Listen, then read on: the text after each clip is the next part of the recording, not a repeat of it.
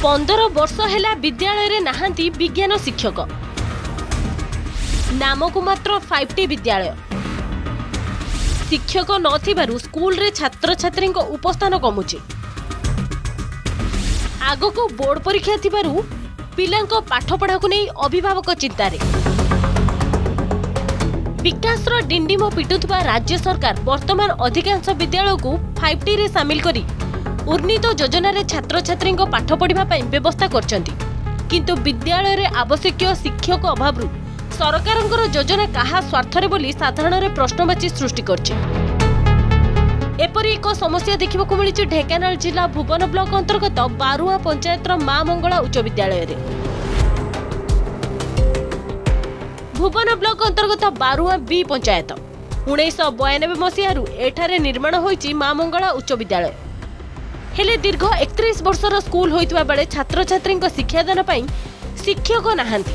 ବିଦ୍ୟାଳୟରେ ଦୀର୍ଘ ପନ୍ଦର ବର୍ଷ ତଳୁ ବିଜ୍ଞାନ ବିଭାଗର ଶିକ୍ଷକ ନଥିବାରୁ ବିଜ୍ଞାନ ଓ ଗଣିତ ପରି କଷ୍ଟକର ବିଷୟରେ ପାଠ ପଢ଼ିବା ପାଇଁ ଛାତ୍ରଛାତ୍ରୀମାନେ ନାହିଁ ନଥିବା ସମସ୍ୟା ଭୋଗୁଛନ୍ତି। ଏପଟେ ଆଉ କିଛି ଦିନ ପରେ ଛାତ୍ରଛାତ୍ରୀମାନେ ଦେବେ ଦଶମ ଶ୍ରେଣୀ ବୋର୍ଡ ପରୀକ୍ଷା।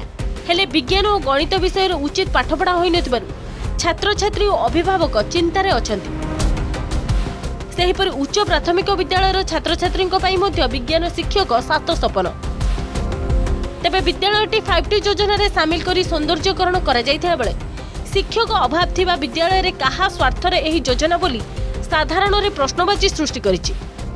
ଆମ ସ୍କୁଲଟି ଫାଇଭ୍ ଟି ରୂପାନ୍ତରିତ ହେବା ପରେ ଆମକୁ ବହୁତ ଖୁସି ଅନୁଭବ ହେଉଛି। ହେଲେ ଆମର ପନ୍ଦର ବର୍ଷର ସମସ୍ୟାଟି ସମାଧାନ ହୋଇପାରିନାହିଁ। ଆମ ସ୍କୁଲରେ ସାଇନ୍ସ ଟିଚର ନାହାନ୍ତି ଯାହାଫଳରେ କି ଆମ ସାଇନ୍ସ ପଢ଼ିବାରେ ବହୁତ ଅସୁବିଧାପୂର୍ଣ୍ଣ ହେଉଛି। ଆଉ କିଛି ଦିନ ପରେ ଆମର ସାଇନ୍ସ ଆମର ଟେନ୍ଥ ଏକ୍ଜାମ୍ ହେବାକୁ ଯାଉଛି। ଆମର ସାଇନ୍ସର ଆମର କିଛି ବି ପଢ଼ା ଯାଇନି। ଆମ ସ୍କୁଲରେ ଫାଇଭ୍ ଟି ହେଲେ ମଧ୍ୟ ଆମ ସ୍କୁଲରେ ସାଇନ୍ସ ଟିଚର ନାହାନ୍ତି। ଆମେ ପଢ଼ିବାରେ ସାଇନ୍ସ ପଢ଼ିବାରେ ଅସୁବିଧା ହେଉଛି। ଆମକୁ ସରକାରଙ୍କ କତିରେ ଆମ ନିବେଦନ ଆମକୁ ସାଇନ୍ସ ଟିଚରଟେ ଦେଲେ ଆମେ ସରକାରଙ୍କ ପାଖରେ ଚିରଉପକୃତ ହେବୁ। ଶିଖାଇଥିଲେ ଅ ଏବେ ଡାକୁଛି ଆ। ଏହିପରି ଦର୍ଶାଇ ବିଦ୍ୟାଳୟକୁ ପୁରାତନ ଛାତ୍ର ତଥା ଅଭିଭାବକମାନଙ୍କୁ ବିଦ୍ୟାଳୟ ପରିଚାଳନା ପାଇଁ ଯୋଡୁଛନ୍ତି ସରକାର। ହେଲେ ବିଦ୍ୟାଳୟର ସମସ୍ୟାକୁ ନେଇ ବାରମ୍ବାର ଅଭିଯୋଗ କଲା ପରେ ମଧ୍ୟ ସମସ୍ୟାର ସମାଧାନ ହେଉନି।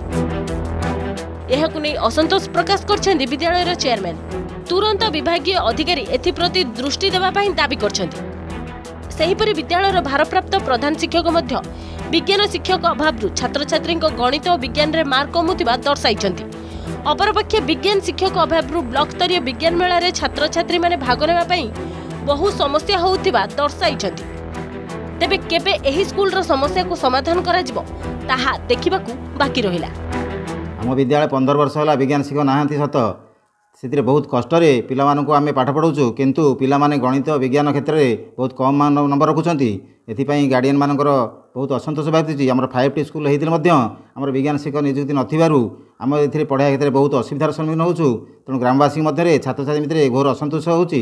ତେଣୁ ଏହାକୁ ତୁରନ୍ତ ପୂରଣ କରିବା ପାଇଁ ଶିକ୍ଷକ ବା ଶିକ୍ଷା କର୍ମଚାରୀ ଅଧିକାରୀଙ୍କୁ ଆମେ ଏଥିରେ ବାରମ୍ବାର ଜଣାଇଲା ସତ୍ତ୍ୱେ ଆମେ ନିଯୁକ୍ତି ଆମ ବିଜ୍ଞାନ ବିଜ୍ଞାନ ଶିକ୍ଷକ ହୋଇପାରୁନାହାନ୍ତି।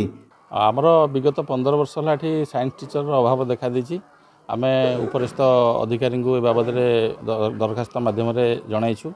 ତେଣୁ ଆପଣଙ୍କ ମାଧ୍ୟମରେ ଆମେ ଅନୁରୋଧ କରୁଛୁ ସରକାରଙ୍କୁ ଯେ ଆମ ସ୍କୁଲକୁ ଜଣେ ସାଇନ୍ସ ଟିଚର ଉପଲବ୍ଧ କରାଇଲେ।